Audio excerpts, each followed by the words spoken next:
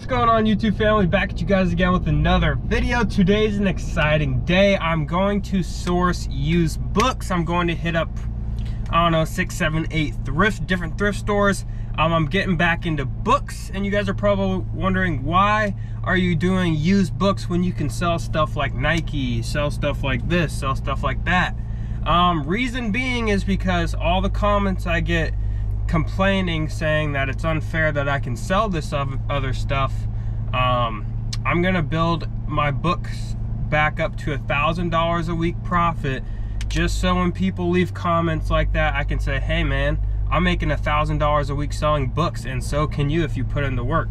So that's pretty much why I'm getting back into books just for the little trolls um, and to help you new beginners out because I know books are the probably the best way just to learn Amazon's platform. Um, the profits are crazy um, and it's just a good way to learn how Amazon works, how to source, how to prep, how to ship, so on and so forth, um, how to use a repricer. It's just a good place to start to learn um, for a cheap price. So I'm excited to bring you guys along on the journey. My goal is to source at least, you know, 250 to 300 books a week minimum. My actual goal is 500 books a week on average, a thousand a month sent into Amazon. Hopefully I can keep my average sale price around $20, 18 to $20. And I should be at a thousand dollars a week profit probably within three four months I'm guessing at least if I'm sending in 500 books a week. But I'm gonna take you guys along on the journey. I'm gonna take you guys to all the stores today see what we can find so stay tuned. All right YouTube family just left the first thrift store. This is kind of like a local mom and pop thrift shop. Um, didn't want to show which one it was because it's kind of low-key not a lot of people know about it. Um, again I haven't sourced books in probably at least 14 months I'm guessing but this is my first stop. I spending about 30 minutes in there scanning. Uh, picked up a decent amount of books bag full. Um, probably the best one I found is gonna have to be this guy right here. It's kind of a strange looking book. Um, a season in hell.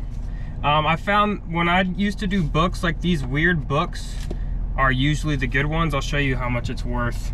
Um, but I mean, it's in good condition. The outside, I mean, it doesn't have a cover or anything, but like the pages are like brand new almost.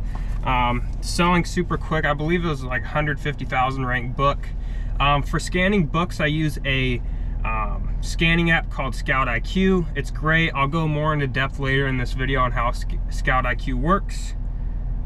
But this book right now is going used for 22.93 um, e-score is only 22 um, but still guys I mean I'll sit on it. I paid the hard covers here are $1.50 soft covers are 50 cents to a dollar.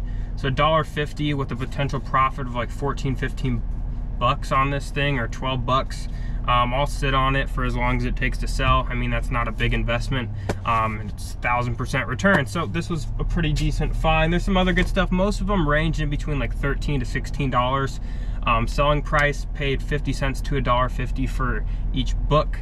Um, so I think we got around 20 books. So I could probably around $250 sales value um, or $300 paid a total of 16 bucks so you can't really beat that but we are off to the next thrift shop, so stay tuned.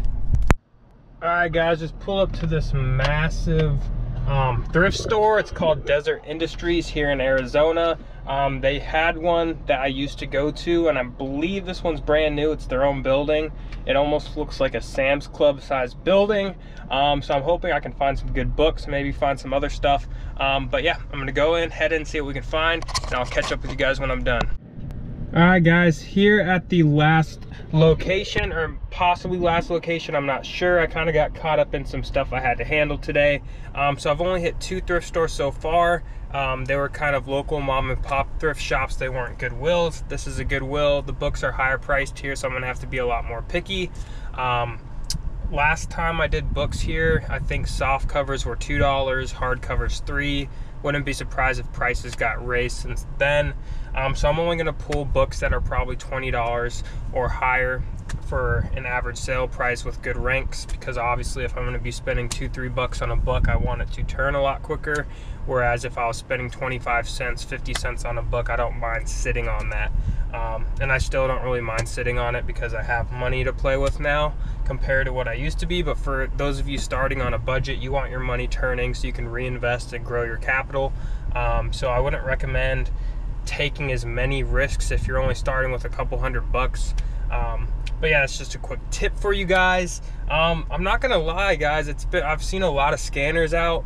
Um, I've never seen this many book scanners before in my life. Maybe I just kind of ran into some today, or maybe it, the book game's um, a little bit more populated now. But it's fun. I met some friendly people. They're all pretty nice.